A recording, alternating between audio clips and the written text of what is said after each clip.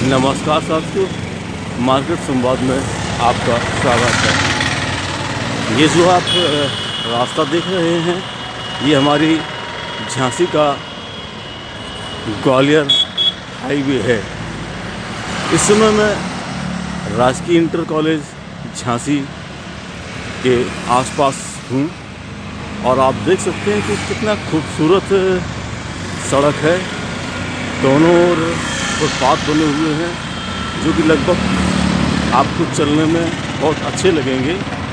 और हाईवे पर गाड़ियाँ दौड़ रही हैं।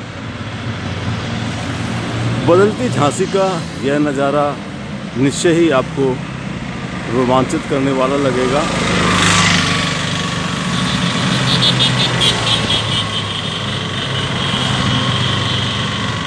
कल तक जिन गलियों पर आप भीड़ भाड़ देखा करते थे। या यह सड़कें आपको उबड़ खाबड़ नज़र आती थीं। आज स्मार्ट सिटी बनने के बाद इन मार्गों की हालत में काफ़ी बदलाव हुआ है।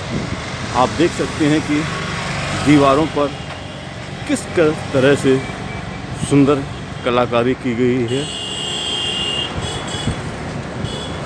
और सड़क के दोनों ओर ही हरियाली है।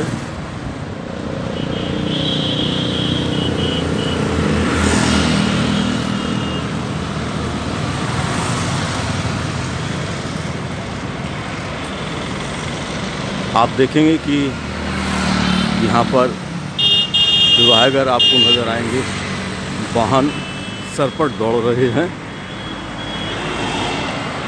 ये देखिए आप दोस्तों, कितना खूबसूरत नज़ारा लग रहा है। इस नज़ारे को देखकर आप एहसास ही नहीं करेंगे कि आप झांसी जैसी वो पुरानी सिटी में रह रहे हैं, जिसकी सड़कें उबड़ खाबड़ और चलने लायक नहीं हुआ करती थी।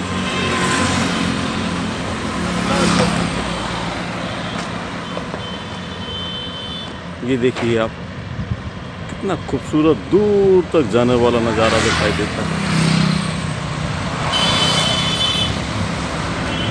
बागवानी के लिए लगाए गए पेड़ फुटपाथ, कितना साफ़।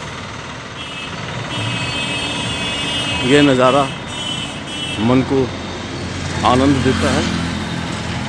और आप भी सुबह अगर टहलने का इरादा रखते हैं तो यह जगह आपके लिए मुफीद होगी। इस मार्ग पर चलने के बाद आपको लगेगा कि हम बदलती झांसी का हिस्सा बन गए हैं।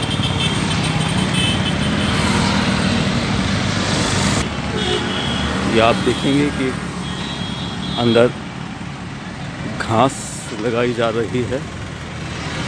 ये जो फुटपाथ के बगल में आपको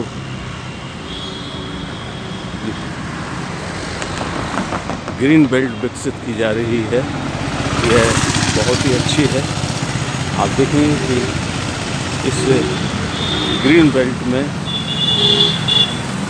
झांसी की मेयर रामतीर्थ सिंघल ने जो बेहतरीन प्रयास का कदम उठाया है, वह फलीभूत होता नज़र आ रहा है और